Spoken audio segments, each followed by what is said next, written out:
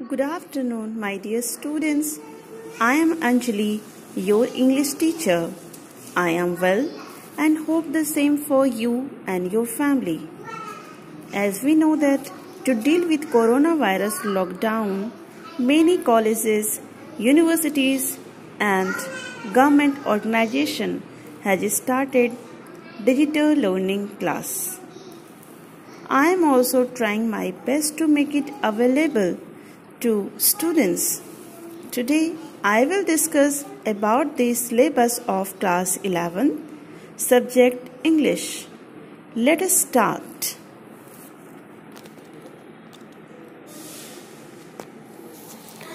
The entire syllabus of class 11 subject English has been divided into two sections, section A and section B. In section A, prose, poetry, short stories, and figures of speech have been kept. In section B, basic grammar and some major topics like tenses, voice, direct indirect, synthesis, syntax, and transformation have been kept. We'll understand one by one each section I will tell you. I will discuss what are those chapters which have been kept in the prose section. Let's start. In section A, you have to study 8 lessons from prose section and Chapters name are as follows. First one is My Struggle for an Education. The next chapter is Forgetting. Third chapter is The Ant and the Grasshopper. Fourth chapter is The Kite Maker.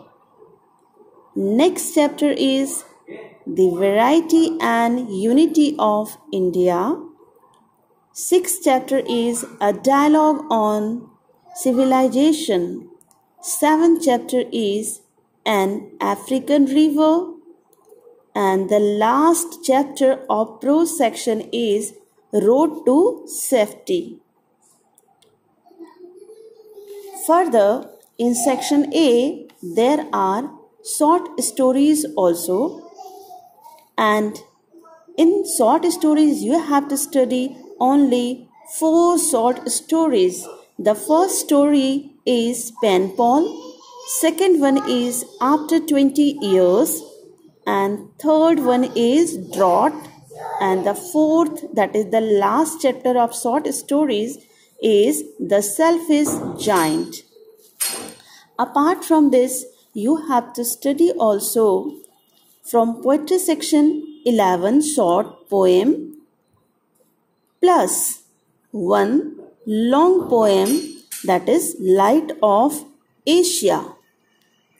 I will discuss it in detail in my next upcoming videos.